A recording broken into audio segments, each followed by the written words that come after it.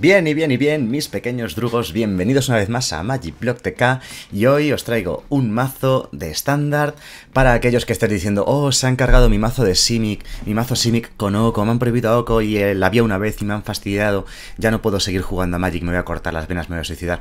Pues bueno, que sepáis que Brad Nelson en el pasado Twitch Rivals se hizo un 5-1 con este mazo Simic Ram, que es tal cual se jugaba, incluso cuando ya salió el trono del Drain, se seguía jugando de esta manera este mazo, lo de, lo de Oko llegó incluso después, ¿vale? O sea, eh, eh Throne Drain salió a finales de septiembre, pero estuvimos todavía un par de semanas más jugando con el mazo de esta manera. Un mazo eh, de rampeo, es decir, de aceleración de mana, en el cual tratabas de robar los permanentes al oponente en base a más manipulation y eh, agente de tradición, ¿vale? Manipulación masiva de agente de tradición, como digo siempre. Voy a poner el juego en español, que siempre se me olvida ponerlo en español antes de comenzar el vídeo. Y, bueno, pues Brad Nelson lo pilotó sorpresivamente. Yo ya sabía que este mazo iba a seguir siendo bueno. O sea, la gente se ha creído que ya se han cargado el verde para siempre y tal. Y no, el color verde sigue siendo muy poderoso. Pensad que tienes cartas como Ganso, tienes cartas como Hidra Voraz, Crasis Hidroide, Arrecife Despertado, Druida del Paraíso, Nisa la que sacude el mundo, Caballero de las Espinas. O sea, el verde sigue siendo poderosísimo. Y si lo combinas con azul, le puedes meter, pues eso, las propias Crasis Hidroides que haya dicho, manipulación masiva, agente de la traición el arcife despertado que también he comentado, o sea, es decir, la Simic Ramp, la Simic sigue siendo un mazo bueno. De hecho, hay varias versiones. Te puedes montar una Simic Flash, te puedes montar una Simic Ramp como esta, o incluso una Simic Agro, ¿no? O sea, realmente eh, el verde no está muerto, ¿vale? Y, quiero, que, quiero que veáis eso demostrándolo con este mazo. A ver si se nos dan bien las partidas. Vamos a hacer primero un pequeño deck del mazo para, que, para comentar la, la estrategia principal, y luego, bueno, pues jugamos unas partidillas a ver qué tal funciona. El ganso. El ganso sigue siendo bueno, es el único acelerador de maná de primer turno. De hecho, eh, yo este mazo lo estoy jugando, lo estoy jugando también y llevo el ganso y llevo el lobo, el lobo feroz, no sé cómo se llama. Bueno, el lobo ese, que cuando entra en juego pelea con otra criatura, lucha con otra criatura. Eh, en cambio, Brad Nelson, que sabrá más el que yo, eh, lo ha cambiado por Hidra Voraz, ¿vale? No se fía del lobo, porque como casi no tiene posibilidad de poner tokens de comida, el lobo es menos útil que una Hidra Voraz. La Hidra Voraz es más cara para poder hacer la misma cantidad de daño y no se hace indestructible, pero a cambio se puede hacer mucho, mucho más grande, ¿no? Pagando X, como es un mazo de aceleración de mana, mazo de rampeo, vas a juntar 8 o 10 tierras muy rápidamente, le vas a sacar más partido, ¿no? más aceleración de mana en forma de druida del paraíso y lleva el pack de elementales. ¿Qué es el pack de elementales? Pues lo que se jugado durante todo el verano. Durante el verano estábamos jugando, desde que salió M20, Druida Frondoide y Arrecife Despertado y Caballero de las Espinas. Tres cartas elementales muy buenas eh, que salieron en M20 y que eh, los mazos de rampeo Simic verde-azules las están jugando desde aquel día, ¿no? Entonces ya digo, llevas el pack este de elementales de aceleración y ventaja de cartas. Aceleración, ventaja de cartas, aceleración, ventaja de cartas, aceleración. Cuatro Crasis Hidroide, la pondríamos aquí realmente la Crasis, la quieres jugar con un coste 7, 8, 10 de mana, ¿no? Sería lo suyo, ¿no? No es un coste 2. La Hidra Voraz sería más bien un coste 4, vamos a decir, ¿no? Normalmente no la vas a jugar por menos de un coste 4. Vale, pues la Crasis es... Eh, tengo 10 de mana, pues lo uso en la Crasis, lógicamente. Me robo 4 cartas, gano 4 vidas. Es... Realmente, realmente estos... Eh, los Mirror, o muchas de las partidas las ganas cuando juegas la Crasis. Si te robas un par de Crasis, una, y ya enlazas la siguiente y tal... Vas a ganar un montón de vidas, un montón de ventaja de cartas, etcétera, etcétera. Lo que lleva Brad Nelson un poco así sorprendente es un par de copias de Quasi Duplicado. A ver, Quasi Duplicado es muy buena carta y en los mazos cuyas criaturas tienen habilidades de entrar en juego, se hace especialmente buena esta carta. Así que ninguna pega. Es una cosa un poco, digamos, eh, un poco meme, ¿no? Los mazos de Quasi Duplicado son meme decks, son mazos LOL, o mazos para divertirse simplemente, for fun. Pero mira, aquí a Brad Nelson le ha dado buen resultado, uno de los mejores jugadores del mundo, así que hagámosle caso, ¿no? Vale, luego ya os decía, esto no lo vas a jugar por coste 4, lo vas a jugar más bien por coste como mínimo 6, 6, 8, 10, ¿vale? La manipulación masiva. Le puedes robar criaturas o planeswalkers, lo que tú quieras. Eh, cuesta 4 azules y luego por cada 2 adicionales robas una criatura o planeswalker. O sea, si pagas 6, robas una criatura o planeswalker. Si pagas 8, robas 2, si pagas 10 robas 3, si pagas 12 robas 4. Dirás, es imposible llegar a juntar 10 o 12 mana, no. Es muy fácil porque este mazo lo combinas con Nisa, la que sacude el mundo, que la puedes jugar en el tercer turno. Puedes hacer mana ganso, mana druida del paraíso, tercer turno Nisa. Nisa es win condition per se, porque pone criaturas 3-3 y son, son duras, o sea, es decir, el primer turno ya atacan, segundo turno son dos criaturas 3-3, tercer turno son tres criaturas 3-3, es decir, con vigilancia y prisa, o sea, Nisa es una win condition en sí misma, gana ya sobre la partida y además te duplica el mana. Bueno, hace que los bosques den un mana verde adicional, para ser más correcto, ¿no? Entonces te permite hacer manipulaciones masivas bestiales o eh, crisis hidroides brutales, ¿no? Por último, la única carta que no he comentado es el Caballero de las Espinas, que bueno, es, es simplemente un buen pino, muy buen pino, por 5 un 5 si se alcance, guay, pero sobre todo es por la aceleración de mana que propone, que te da eh, mirar las 5 cartas del top de la biblioteca y ponerse en juego una carta de tierra entre ellas, ¿no? Y el resto al cementerio. Y además cuando muere puedes poner un permanente en el top de tu biblioteca. Luego, el pack de tierras. Bueno, el pack de tierras poco que destacar porque es una Simic, es un mazo fácil de montar en cuanto a las tierras. Y el banquillo os lo muestro simplemente y ya está, ahí lo tenéis. Vale, vamos a, vamos a jugar. Vamos a jugar unas partidillas, partidas casuales, o sea, tampoco aquí nos vamos a volver loquísimos con ello. No, Simic Manipulation no, esta es la que yo estoy jugando, ¿vale? La que pone Simic Manipulation. Pero la que, la que vamos a jugar, que es la versión de Brad Nelson, que pilotó en, en el torneo, como estaba diciendo. ¿Dónde la tengo? Esto pasa siempre, ¿no? O sea, que no encuentras los mazos. no encuentras los mazos porque debe de ser muy complicado programar eh, programar este juego para que te ordene las cartas. Es Simic Ram, ¿vale? Le he llamado Simic Ram, aunque yo creo que debería cambiarle el nombre. Desde aquí no me deja cambiarle el nombre. Bueno, pues jugamos y ya está. Debería llamarla quizás eh, Simic cuasi duplicada o algo así, o... Vamos a por ello, vamos a ver qué tal se nos da. No importa mucho cómo se nos dé, sino que lo que me importa es ver el desarrollo de, de la partida. Es como cuando te presentas a un examen y hay dos tipos de profesores. El profesor bueno y el profesor malo. Hay malos profesores y hay buenos profesores. El profesor malo es aquel que coge el examen, mira el examen y dice... Si el resultado no es exacto, está, no miro el resto del ejercicio, no miro el desarrollo. Ese es el profesor malo. Porque por cierto, jugad siempre mucho mana azul, todo el que podáis, porque luego el Mass Manipulation, el manipulación masiva, cuesta cuádruple azul, ¿vale? Entonces es el profesor malo, el que mira el resultado y ya está. Entonces pierdes las tres partidas. Imagina que jugamos tres partidas y perdemos las tres partidas. Ah, esto no vale para nada, este jugador no es bueno o lo que sea. Mal. No es cierto, no es así como... Uf, tenemos una, mano bastante interesante, ¿eh? Si no nos mata este arrecife despertado y empezamos a cuasi duplicarlo, va a ser la fiesta de la espuma. Lo que pasa es que parece que es una grul de aventuras. Lleva mucho removal lleva choques, eh, lleva choques, lleva el gigante aplastahuesos, tiene muchas formas de matarnos este arrecife despertado, incluso en respuesta al cuasi duplicado. como decías, es el profe malo. El profe bueno es aquel que se fija únicamente en el desarrollo. Si robamos tierra y metemos Nisa, ganamos la partida. No me, voy a, no me voy a arriesgar por robarme una vida. Si tiene un choque y bloqueamos, nos la lía. O un más 2 más 0, efectivamente. Pues no hemos robado tierra. Podríamos hacer una Crasis 2-2 para robar una carta extra. Y seguro que robamos la tierra que nos falta. O podemos simplemente jugar un druida frondoide y ya sí, el siguiente turno tendríamos para Anisa. El siguiente turno lo que va a jugar es seguramente el gigante aplastahuesos, que es un 4-3. Nada, mala suerte. Entonces lo que decía, que el profesor bueno es aquel que no se fija en el resultado. Mira el examen, se toma su tiempo, lo lee, observa los conocimientos del alumno y valora el desarrollo. Eso es lo importante realmente, lo único que importa es el desarrollo, ¿vale?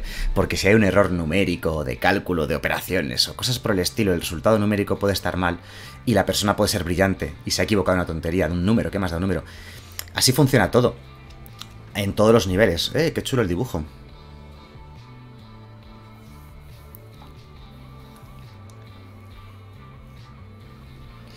Qué duro, ¿eh?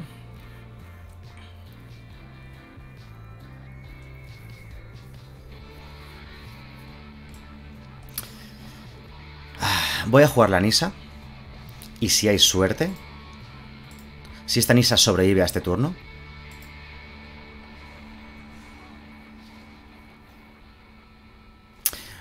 No voy a atacar. Si esta Nisa sobrevive a este turno, eh, tendremos opciones, porque ya podemos jugar una crisis de muy grande y tal. Entonces lo que os decía, si esta partida, si jugamos tres partidas y perdemos las tres partidas, ¿qué importa? Lo que importa es, estamos aprendiendo. Entonces lo que importa es el desarrollo del juego, ¿no? Vale, podemos hacer una manipulación masiva también interesante. A ver, puede tener un choque o puede tener otro más 2 más 0. En cualquiera de los dos casos, la Nisa está muerta y nuestra tierra también. Voy a bloquear. O podemos no bloquear y no perder la tierra. Tampoco es tontería.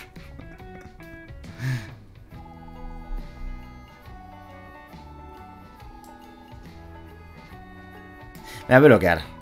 Y si tiene otro más 2 más 0 un choque, pues bueno, perdemos la tierra. Pero no perdemos la Nisa. O con el gigante aplastado se nos hace perder la Nisa.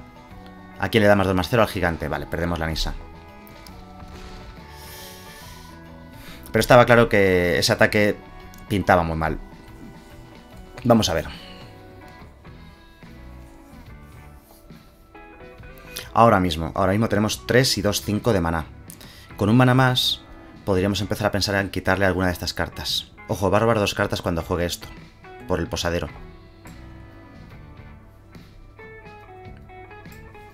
Nah, nos quedamos a medias. Algo es algo, ¿eh? Por lo menos podemos jugar el cabello de las espinas, que es un 5-6, poca broma con él. Ponemos en juegos a tierra, adivinamos. Yo creo que ahora mismo ya solo queremos tierras, ¿no? Esta isla es la cuarta isla para poder jugar la manipulación masiva, ojo. Así que la dejamos arriba. Tenemos... Ojo, es que los, los Durafrondoides dan dos de mana cuando tienes cuatro criaturas. Así que él va a robar muchas cartas ahora, gracias al posadero de extremo duro. Pero nosotros vamos a robarle todas sus criaturas.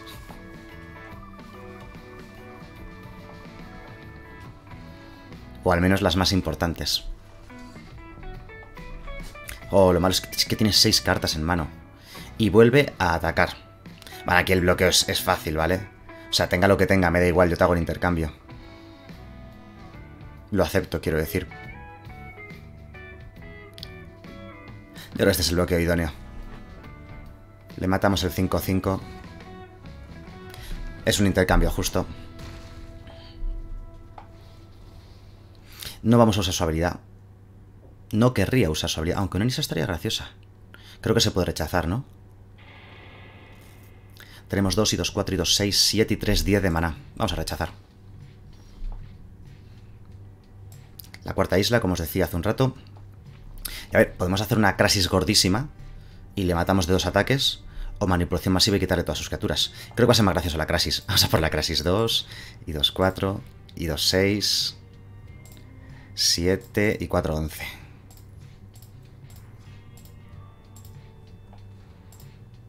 Se me queda pillado un poquito aquí el juego. Uf, casi le a adivinar. O sea que tenemos, efectivamente, 11. Así que es una Crasis de 9. Robamos 4 cartas, ganamos 4 vidillas. El siguiente turno tendremos 12 de mana para hacer manipulación masiva y robarle 4 criaturas. Sigue robando con el posadero extremo duro. Vale, aquí ataca porque obviamente nos tiene un poquito contra las cuerdas en cuanto a vidas. O sea, bueno, un poquito entre las cuerdas. No creo que nos pueda matar la Crasis. Ah, pues a lo mejor sí. La deja a 3 de vida. Y el ponedor claro. Vale, aquí ha perdido bastantes cartas.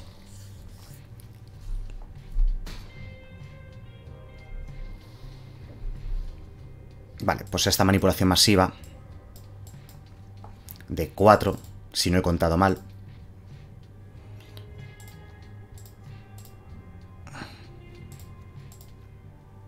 Va a ser graciosa. Enviar 3, no enviar 4. Ahí está. Pagamos automáticamente. No he contado mal, perfecto. Sí, nos hace dos años el gigante al hacerlo objetivo, pero ahorramos todas sus criaturas. Y ahora, pues no sé, a, a cuasi duplicar cosas o... O a robárselas con el agente de la tradición. Mira, con el agente de tradición le podemos robar esta Vivian. Ha hecho el menos 2. Ah, nada, si es que podemos jugar el, agente de la invocación. O sea, el agente de la tradición, perdón, que cuesta 7 y 3, 10. O sea, pff. ha hecho bien en conceder. Y vamos a robarle el gigante aplasta huesos. Y lo íbamos a cuadruplicar, le íbamos a quitar también la Vivian, atacábamos con todo y le matábamos. ¡Wow! El, su mazo era un mazo metagame, era un mazo bueno, ¿vale? O sea, era una Grula Aventuras, que es uno de los mazos buenos del formato. Lo bueno de la prohibición de Oko es que se ha abierto muchísimo el metajuego. O sea, es decir, eh, ya lo hemos visto en el evento, el que hubo al día siguiente de la prohibición de el, el, el Twitch Rivals este de Magic Arena, eh, vimos un metajuego muy variado, muy divertido. Es cierto que había muchas de Sky de Fuegos de la Invención, pero luego al final no se han llevado el gato al agua del todo, sino que ha habido muchos otros mazos que han estado ahí, aunque ya digo, había muchas listas apuntadas de Sky Fuegos de la Invención. Luego a la hora de la verdad han destacado muchos otros mazos, ¿no? Esta mano es muy mala si sale nuestro oponente. Vamos a hacer mulligan. O sea, teníamos todos los hechizos de coste alto. En cambio, esta mano está bastante mejor.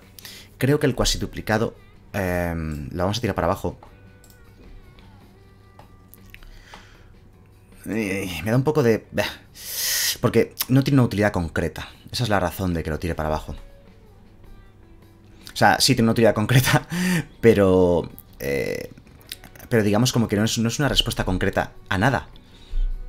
No es una respuesta a nada concreto, eso es lo que quería decir. Depende de lo que juegue el oponente, y como no sé lo que juega, creo que es mejor quedarme cartas que sé que son buenas más o menos en todas las circunstancias, y pasar de ese cuasi duplicado. Vale, vamos a ir de mana... Si es una mano roja... No, no es una mano roja. No es una mano roja porque lleva pasaje de leyenda. Pero lleva rojo. Así que es muy probable que lleve como mínimo el gigante huesos y esta gansa muera este turno. Pero si es mono roja o si es Grul o Rakdos, este pack de criaturas es bastante bueno. Ah, es un mazo de gato, vale. Este robo es muy bueno. Seguimos sin mana azul. Pero no quiero pagar dos vidas. Jugaremos este mana azul a continuación, girado o enderezado, ya veremos. No quiero pagar dos vidas porque el mazo del gato, además es la versión Rakdos, eh, nos puede fastidiar bastante. Lo malo, lo bueno, lo bueno es que la Hidra Voraz está ya, mata lo que él juegue. Ahí está el Diablo del Caos.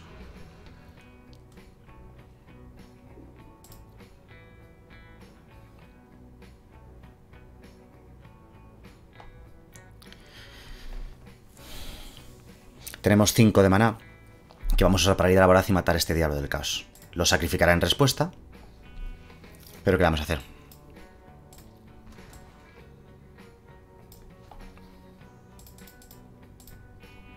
Aquí con un lobo habríamos hecho exactamente lo mismo, pero por un mana menos, ¿vale? Lo que os decía al principio del vídeo.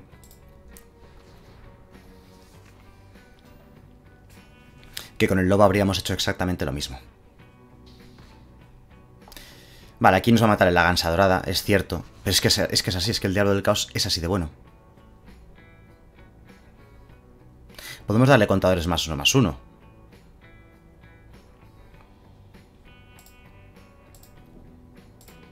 Pero no. Vamos a intentar matar su diablo del caos, porque es que si no, no lo va a sacrificar.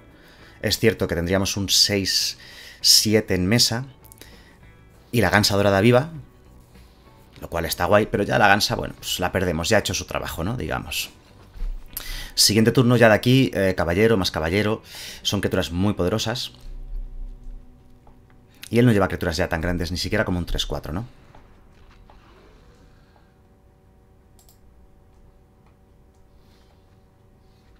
Vale, vamos a atacarlo primero. Él no va a bloquear, obviamente.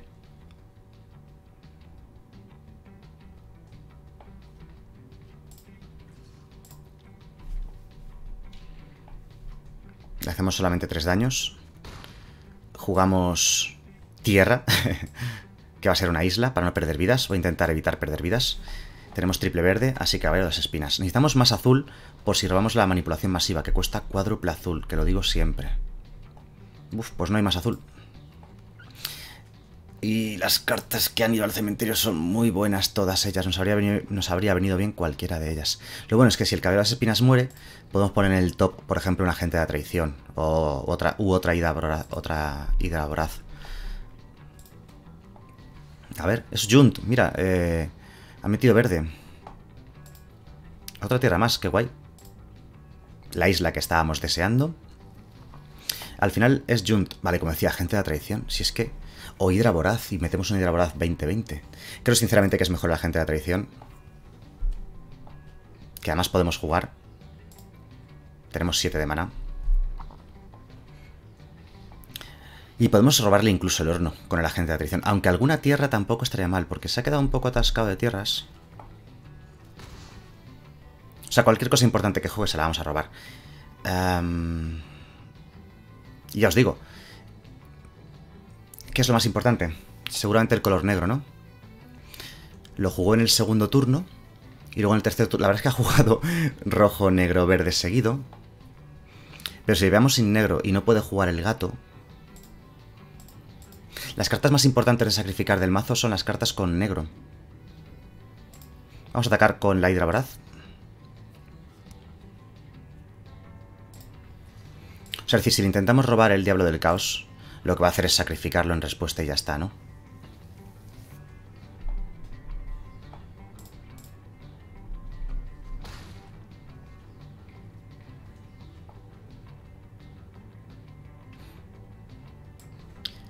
Venga, va, vamos a probar suerte. Vamos a ver si al quitarle este pana negro le fastidiamos bastante. Yo creo que sí.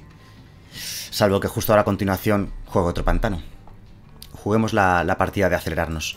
Y el día que salga una manipulación masiva o un cuasi duplicado o algo por el estilo, no tenía mana negro. De todas maneras, no, no, concedas, o sea, roba la siguiente y si es un pantano, pues sigues en el juego. Mira, esto me sale pocas veces y siempre que me sale, como yo estoy siempre clicando en la pantalla todo el rato, siempre me lo paso y nunca le puedo dar. ¿Cómo yo la partida? Bien, creo que el juego ha mejorado bastante, ¿no? En cuanto a estabilidad, rendimiento y ese tipo de cosas. Ahora me está pegando algún tironcillo, me está yendo, no me está yendo perfecto. Pero porque llevo mucho rato con el ordenador encendido y mucho rato con el Magic en encendido. Y esas cosas, eh, el rendimiento las acaba pagando, lógicamente. Bueno, dejad que me tome un traguito de mi Pepsi Max con lima. A veces parece que me pagan por hacer publicidad de las marcas de bebida. Venga, vamos a por otra partidita más. Y tercera partida. De momento hemos empezado bien. Vale, entonces es lo que decía, que... Vale, esta mano... Eh, al menos salimos. Pero es muy mala esta mano, ¿eh? Pero voy a quedar porque tenemos el adivinar y salimos nosotros. Y tenemos tiempo de encontrar... A ver, las tierras siempre son buenas en este mazo.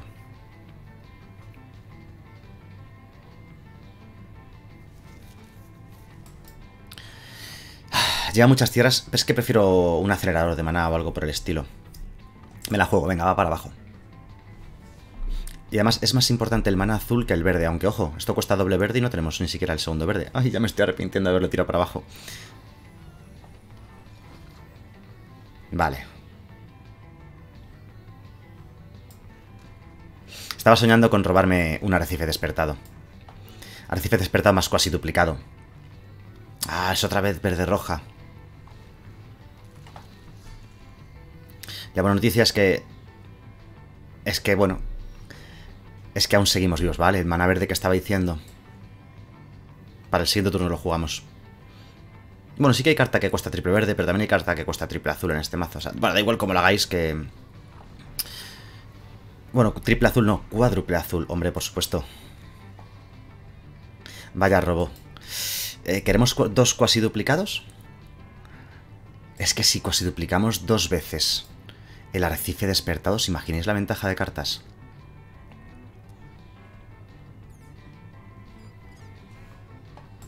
Nada, creo que con uno va a ser suficiente. Que se puede jugar dos veces el cuasi duplicado, entonces querer dos cuasi duplicados es excesivo. Prefiero a ver si encontramos una, una Crasis o algo por el estilo. Tenemos buena mano ahora mismo contra Grul. Eh, más que nada porque la Hydra Voraz va a hacer un 2x1 bastante interesante. Supongo que si hacemos un cuasi duplicado a la hidra, como la copia tal cual... Oh, no. El lobo. ¿Veis lo que no lloréis porque os hayan prohibido a Oko, y había una vez, porque hay muchas otras cartas que vais a poder seguir jugando. Igual que antes, ¿no?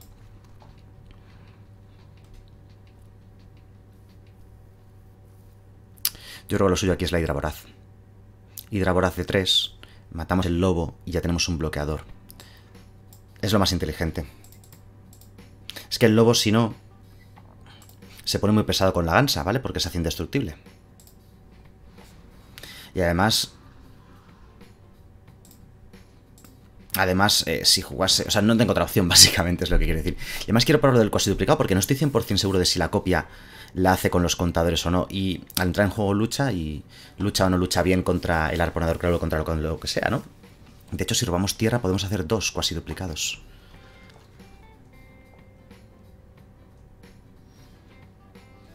Wow. Es que quiero esto. Nada, venga, vamos a hacer esto este turno. Venga, venga, que es mucha ventaja de cartas. Uy, si llega a ser una tierra. No, pero si hubiese sido una tierra la habría puesto en juego girada directamente. Así que nunca habría sido lo mismo. Hombre, por supuesto. No vamos a atacar. Yo creo que no, no tenemos prisa. Y ya veis el desarrollo de este mazo, lo bestia que es. Si es que el mazo Simic Oko era obviamente superior a este, porque era un mazo demasiado dominante, ¿no? Pero le quitas los Ocos y vuelves a la versión original de este mazo y te das cuenta de, lo bueno que era la Simic Ramp, ¿no? Con manipulación masiva, con Nisas, con Crasis. Es básicamente, ya digo, lo mismo de antes, pero cambiando los ojos. es que tengo mucha tentación de hacer casi duplicado a esto y hacer la fiesta de la espuma. Pero es que hay que matar esto. Voy a casi duplicar el arrecife despertado. Que va a convertir esto en la fiesta de la espuma. Ponemos la tierra en juego. Entra girada, porque siempre entra girada, aunque pague las dos vidas. Lo pone, lo pone el texto de la carta. Y ahora me gustaría saber si con el cuasi duplicado le matamos el posadero de extremo duro o no. Esto da dos manas verdes, por, dos manas verdes, por cierto. Me da un poco de miedo liarla con el cuasi duplicado y que no matemos esto, ¿eh? Me da un poco bastante miedo. Así que no lo voy a hacer. Lo que voy a hacer es con la hidra voraz matarle el posadero extremo duro. Creo que tenemos 2 y 3, 5 de mana, ¿verdad? Así que X igual a 3 para que sea lo más grande posible. Hacemos que luche contra el posadero, que le da ventaja de cartas. Y bueno, nos podemos comer un ataque de la bestia enamoradiza si hace falta no atacamos. Incluso podemos hacer doble block a la bestia enamoradiza. Bueno, de hecho no tiene un 1-1 para atacar, ¿vale? Pero si jugase un 1-1 ahora... O sea, lo que no quiero es que obtenga más ventaja de cartas, ¿vale? Esa, esa sería la idea. Así que, bueno... Eh, veis que ahora mismo la partida pues está bastante, bastante controlada. Y yo creo que lo suyo ahora sería ya jugar una Nisa, ¿no? Nos mata un arrecife despertado. Ya no tiene mucha importancia.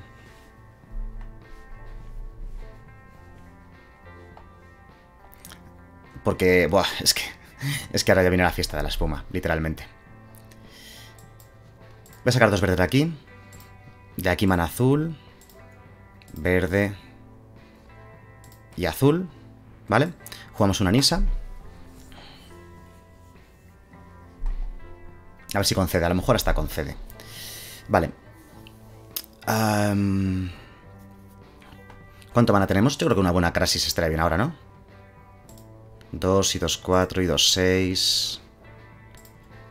Y 2, 8. 9.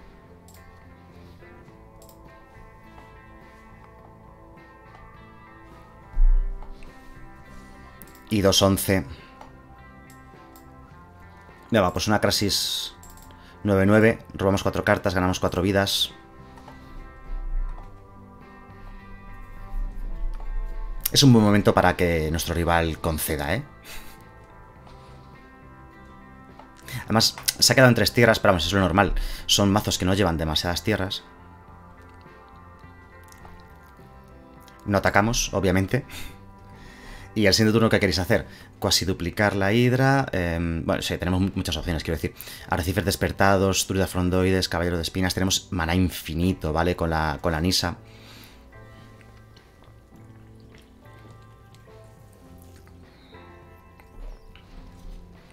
¿vale? Gigante aplastahuesos a pelo, un 4-3x3 sin más, y otra gansa. El problema es que tiene muchos bloqueadores, eso mm, me está fastidiando un poquito. Un poquito.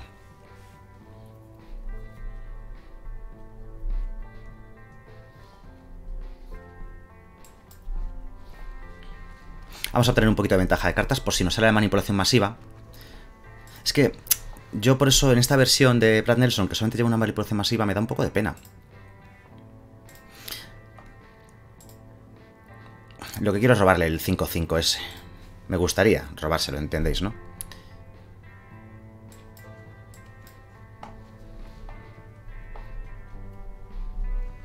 ¿Cuántas cartas nos quedan? A ver si vamos a morir por mazo.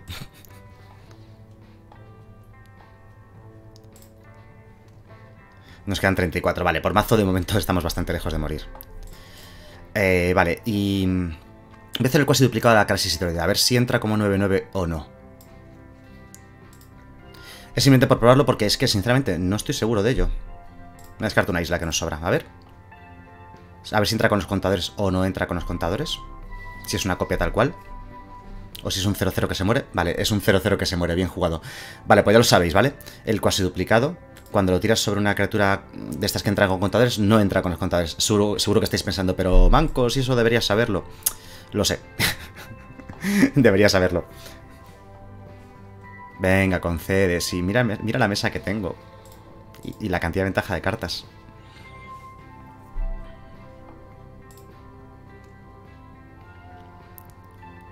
En algún momento encontraremos una manipulación masiva o un agente de traición y tendremos vía libre. Bueno, ojo, que nos estamos dequeando, ¿eh? que nos quedan solamente 26.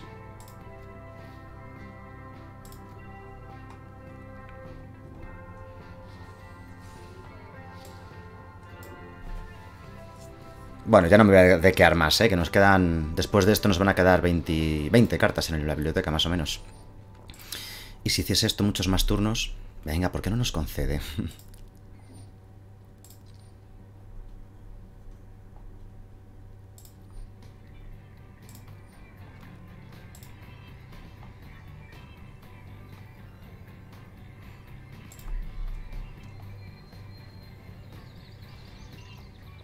¿Las pone en juego enderezadas? No, girada. Vale, el que la pone enderezada es el cabello de las espinas, ¿de acuerdo?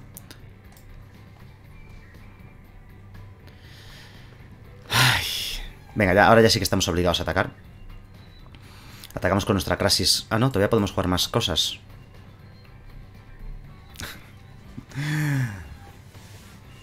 Al final el vídeo se va a ir más largo de lo que yo pensaba. Solamente por esa tontería de que el oponente no está concediendo. Bueno, ojo, puedo hacer cuádruple bloque, todas estas tienen alcance.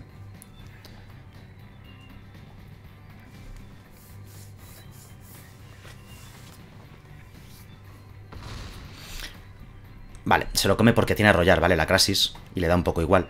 Siendo turno ya atacamos con todo y listo.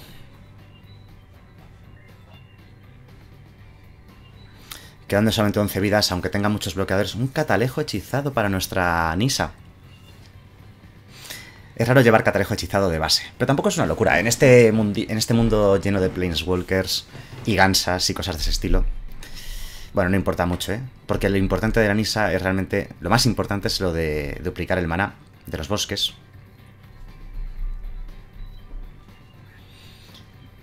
Y sí, antes tiré la basura un cuasi duplicado, pero es que era necesario. Podría haber activado esto antes de robar, pero la verdad es que se me ha olvidado, es que nos da igual.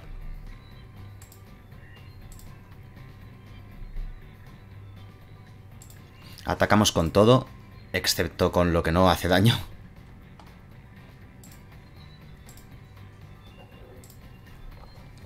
Atacamos con todo.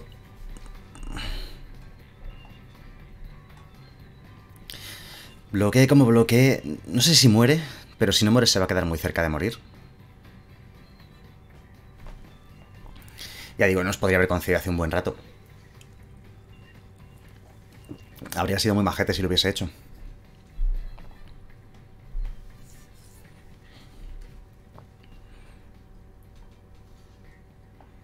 Vale, es que la Crasis arrolla, o sea, le va a entrar, le van a entrar 7 de esta Crasis solamente, ¿no? Creo que se muere, ¿no? Se muere, sí, se muere justo, creo. Salvo que tenga ahora algo en mano. Ah, bueno, si hubiese sacrificado un token de comida y ganado 3 vidas, no se moría. Pero al haber puesto ficha, creo que sí que se muere, ¿no? 3 y 2, 5 y 7, 12, sí. Se... Le hacemos 12 daños, creo. Si no he hecho malas cuentas, tampoco, tampoco me estoy fijando mucho. Se empiezan a ver los números muy pequeños cuando hay muchas criaturas en juego. Y no sé, efectivamente, le hacíamos 12 de daño. ¡Wow! Pues estaba deseando poder decir esta frase, pero cuando salieron las prohibiciones el otro día, de, oh, han prohibido Oco, oh, han prohibido el... Había una vez, oh, han prohibido el velo del verano. Y la gente dijo, el verde ha muerto. Pues os digo una cosa, el verde ha muerto. Larga vida al verde. Espero que el vídeo os haya gustado y nos vemos en el siguiente. Hasta luego.